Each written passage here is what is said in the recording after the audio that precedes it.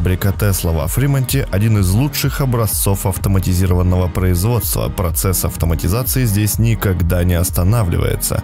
Весной 2017 года компания приобрела 500 новых роботов для сборки Tesla Model 3. Маск мечтает, что через пару лет его фабрика будет напоминать скорее корабль инопланетян, чем автозавод. На фабрике во Фримонте Тесла в основном используют роботов немецкой фирмы KUKA.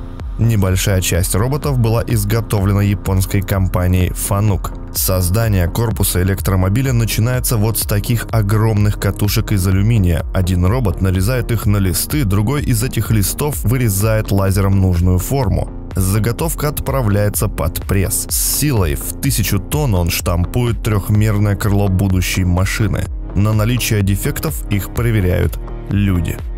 Алюминиевые и стальные части собираются роботами в цельный корпус. Над одним автомобилем могут одновременно работать по 15 роботов Кука. Безошибочно производить сверление и сварку им помогают сверхточные 3D-камеры. Потом собранный корпус отправляется дальше, в комнату с покрасочными роботами.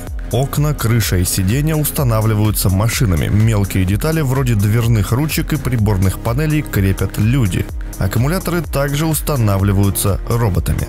Благодаря этому время на установку сокращается с 4 до 2 минут.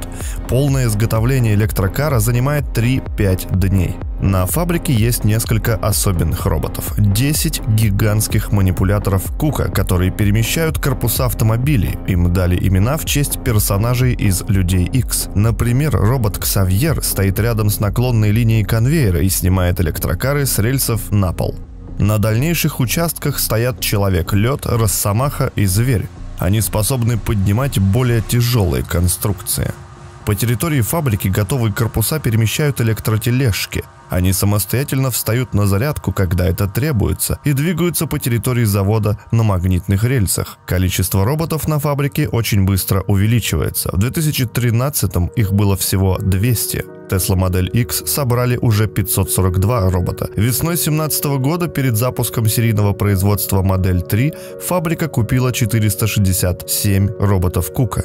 Каждой стоимостью от 50 до 500 тысяч долларов. Они помогут увеличить темпы производства. По словам Маска, детали Tesla Модель S и Модель X двигались по конвейеру со скоростью 5 см в секунду. Сборка Модель 3 должна проходить со скоростью 1 метр в секунду. Люди на фабрике будут наблюдать за правильной работой машин и контролировать качество продукции.